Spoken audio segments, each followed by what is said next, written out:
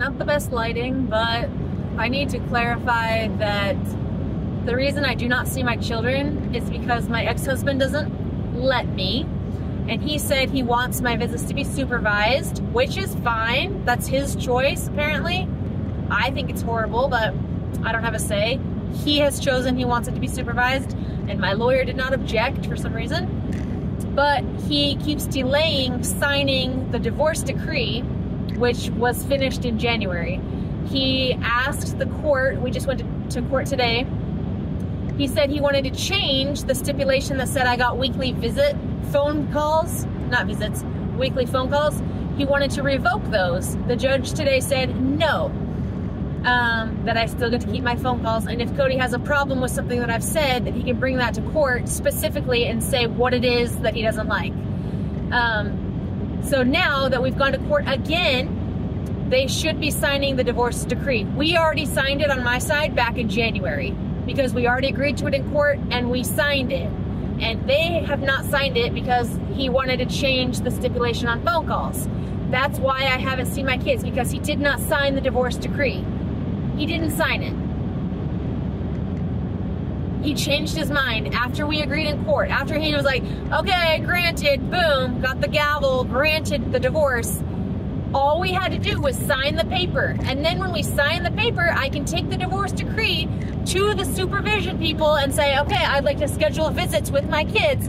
But I couldn't do that because he would not sign the paper because he wanted to take away my phone calls. Period. The person who has restricted my visitation is my ex-husband. And furthermore, at any point in time, he could drop the kids off he could say, hey, meet me at McDonald's. Hey, let's go to a play place and you can see the kids. At any point in time, no one on the planet Earth restricted me from seeing my kids.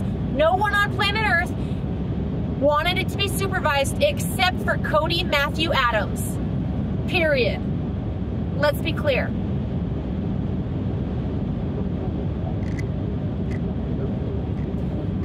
Now that we've gone back to court, and the judge said, no, you're not restricting her phone calls.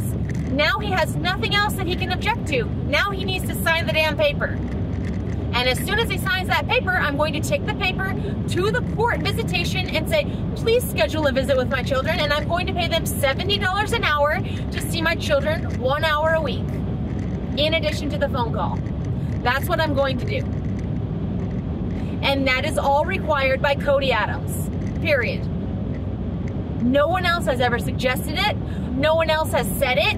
Not my therapist, not my psychologist, not any professional, no doctors, no no one. No one has suggested any of that except Cody Adams.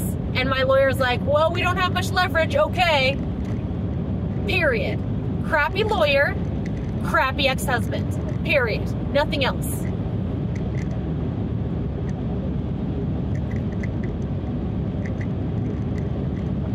Let's be clear. Who is the one restricting my visitation? It is Cody Adams.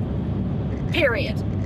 Let me say it again, in case there's some way I haven't said it. The reason I have not seen my children is because Cody Adams has not signed the divorce decree since January 16th when we were agreed upon in court to have one phone call a week and one visit a week. He let me have the phone calls, he did not let me have the visits, and then he went back to court in April, three months later, and said, ah, I don't want her to have phone calls. I don't like what she says in the phone calls. Take them away. And the judge said, no. Ha.